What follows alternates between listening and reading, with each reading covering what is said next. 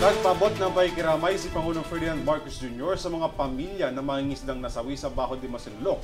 Hiling ng pamahalaan na iwasan muna ang espekulasyon sa nangyaring insidente. Sa ngayon, patuloy pa raw ang isinasagawang investigasyon ng Philippine Coast Guard. Para sa karagdagan detalye, narito si Henry Nicolas.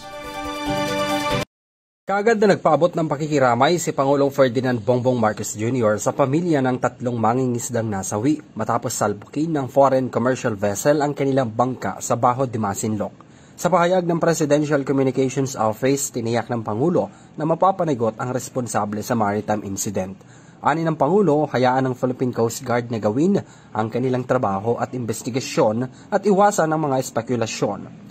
Ang Department of Foreign Affairs nagpadala na rin ng pakikidalamhati sa pamilya ng mga biktima at hihintayin muna ang resulta ng investigasyon bago maglabas ng kaukulang pahayag. Si Senate President Mig Subiri naman, labis na ikinagalit ang nangyari. Sa kanyang pahayag, sinabi nito na hindi sila titigil hanggat hindi napapanagot at nakikilala ang responsable sa pagkasawi ng tatlong mangingisdang Pinoy.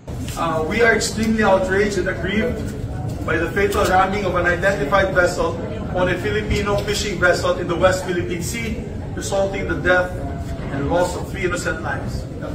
While the details remain unclear at this point, what is clear is that there has been a disregard for the lives of our fisherfolk who are simply trying to make a living in our own seas. We will not rest until we get to the bottom of this incident and identify the vessels that rammed into our fisherfolk. If it was an accident, we must figure out whether there was any attempt to assist our fishermen at all, as should have been done under international humanitarian law and under the United Nations Convention on the Laws of the Sea.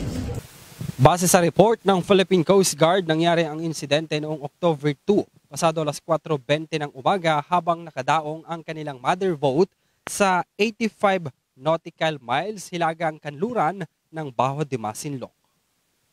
Nagresulta sa pagkamatay ng tatlong tripulante ang paglubog ng kanilang mother boat, kabilang narito ang kapitan ng bangka.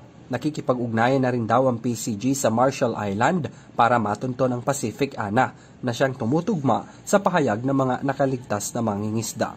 Hindi umano napansin ng mga mangingisdang Pinoy ang paparating na barko dahil madilim ang lugar dala ng masamang lagay ng panahon.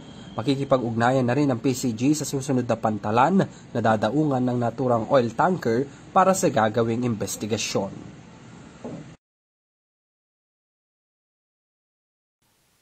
Para sa EuroTV News, ako si Henry V. Nicolas. Sumasaludo sa bawat Pilipino.